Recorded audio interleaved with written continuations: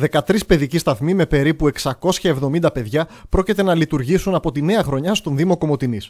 Αξίζει να σημειωθεί ότι πέρυσι το σύνολο των παιδιών που γράφτηκαν στους παιδικούς σταθμούς άγγιξε τα 620, εκ των οποίων τα 400 δεν πλήρωναν τροφία λόγω της χρηματοδότησης ύψους ενός εκατομμυρίου ευρώ από το ΕΣΠΑ για τις ευπαθείς ομάδες. Επιπλέον σε εξέλιξη βρίσκονται οι διαδικασίες για την ανανέωση της σύμβασης των 37 παιδαγωγών και των τριών μαγείρων που στελεχώνουν τους παιδικούς σταθμούς. Όπως και πέρσι, ο Δήμος Κομωτινής συμμετέχει στο πρόγραμμα ΕΣΠΑ.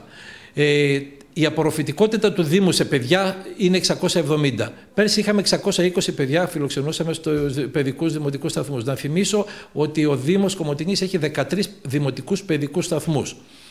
Ε, Πέρυσι φιλοξενήσαμε 400 παιδιά μέσω του προγράμματος ΕΣΠΑ. Αυτό είναι μια, μας δίνει μια δύναμη, μια ανάσα, ένα οξυγόνο, διότι περίπου ένα εκατομμύριο έρχεται στο Δήμο της πόλης μας, στο Δήμο μας, στην πόλη μας και λειτουργούν οι παιδικοί σταθμοί πάρα πολύ καλά. Παράλληλα, μέσω του νέου ΕΣΠΑ θα μειωθούν τα τροφία των άπορων οικογενειών από 50% ενώ σε κάποιες περιπτώσεις μπορεί και να μηδενιστούν.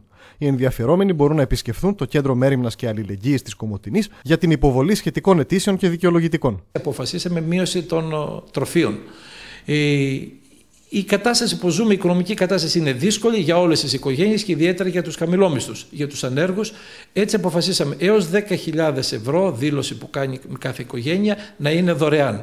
Από εκεί και πέρα μέχρι 20.000 είπαμε να κάνουμε μείωση 50%. Δηλαδή αρχίζουμε με 15 ευρώ. Και αυτά τα 15 ευρώ που θα πληρώνει ένας γονιός για το παιδί του είναι ότι θα τρέφεται, θα παίρνει το πρωινό του, θα παίρνει το μεσημεριανό, θα εκπαιδεύεται, θα έχει τα δώρα του. Αξίζει να σημειωθεί ότι το πρόγραμμα επισητιστικής βοήθειας του Δήμου Κομωτινής βρίσκεται ακόμη σε διαδικασία υποβολής αιτήσεων και αφορά στους πολίτες με εισόδημα κάτω των 3.000 ευρώ που ανήκουν στους Δήμους Ιάσμου, Μαρόνιας, Φιλίρας και Κομωτινής. Ήδη έχουν έρθει μέχρι τώρα 400 περίπου άτομα αυτές τις μέρες ε, και έκαναν την αίτησή τους. Είχαμε μια σύσκεψη με τους προέδρους των τοπικών οικισμών, τους ενημερώσαμε ώστε και αυτοί να ενημερώσουν τους συμπολίτες στους οικισμούς για να γνωρίζουν να έρθουν εγκαίρως να κάνουν την αίτησή τους.